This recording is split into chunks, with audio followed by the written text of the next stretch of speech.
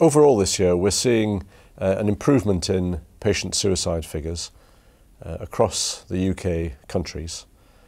Uh, the numbers have been broadly falling in recent years uh, in line with what's been happening in the wider population. But we shouldn't be too uh, content with that. Uh, it still means that there were 1,612 patient suicides in the final year for this year's report, that's 2016.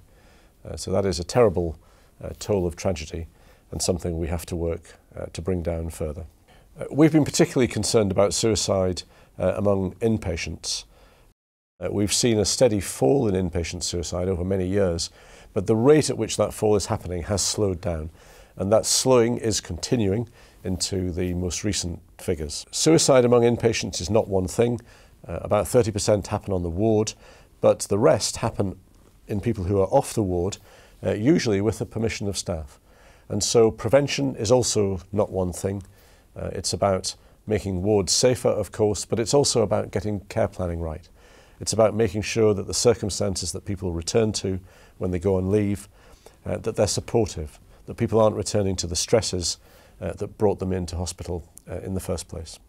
It just so happens that the government has also uh, placed an emphasis on inpatient suicide with its, its zero suicide initiative.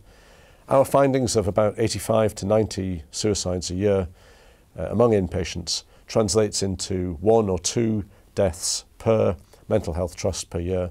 So it's not a huge step to think about reducing that one or two uh, down to zero.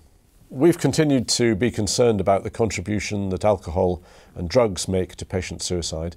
Uh, about half of the people who die also have an alcohol or drug problem, but only a minority are getting any kind of specialist care for substance misuse. That's why alcohol uh, and drug services are an important part of what we refer to as the 10 ways that services can uh, improve patient safety.